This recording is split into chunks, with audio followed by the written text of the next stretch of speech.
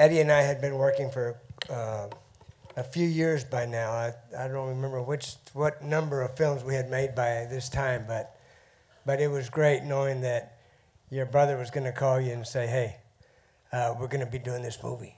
Thank It'll be the greatest movie we've every movie we've ever done has been the greatest movie that they will ever see.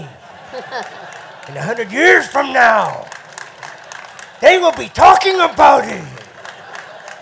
I have to say, it's so long ago, I don't remember much about it except that it was cold. I changed in my car, and they didn't pay me much. but I have to say, it was one of the, still one of the most meaningful experiences I ever had, partly because I was really dirty and cold and I changed in my car. but mostly because of the people that you see sitting up here and those that have gone before. It was a great experience. I played Bill Blakely, a reporter, a member of the New World, going back in a, you'll see, I'm not even going to tell you because the visuals I remember are pretty good. But I was from the modern world going back into the world that was fading. And I was a little bit of a go between between the story, the reality of the story, and the audience that we had, oh, those 37, or depending on whose story you believe, years ago. So I'm going to I'm, I'm gonna be uh, perforce brief because everybody's got to get home by midnight. But I also want to say, as a member of the Academy, we are very happy to have you here. We're very proud of this place and of this institution. So welcome.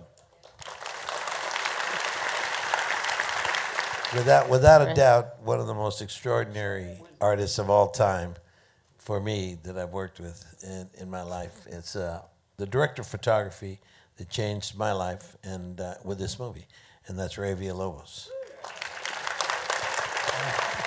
We call him, let me just say, we call him No Light.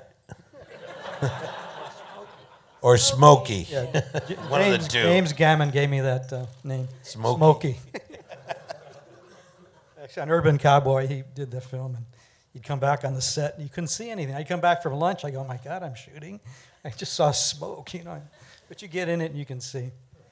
Anyway, uh, working with these great filmmakers, uh, I had no choice but to really step up the game on this. And uh, my approach, because very organic, and we just clicked. Eddie and Bob and the actors. Uh, we were like, it was the best experience I ever had as a filmmaker because there was no studio, really. You know, they just set us free. They go, okay, make a film, and uh, usually, you know, you have the the suits and everybody else, and we only answered to ourselves. We'd be scrambling up a mountain.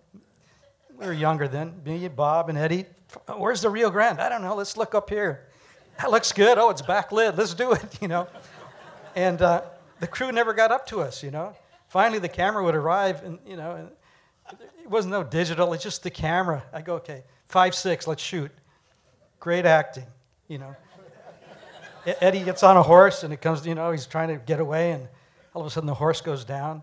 Nothing scripted, and we're shooting. Like, great, great, this is great. Bob's on, Bob was on the other camera, and I was on the other camera, and uh, it was just really organic. Some films you're just lucky. It's you know it's supposed to rain, you know it doesn't for us. The sun comes out.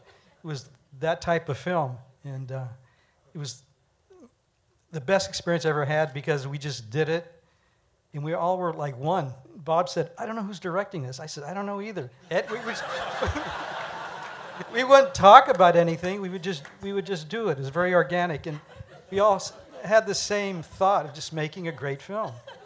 And so, I don't know how it got done, but it did. I do.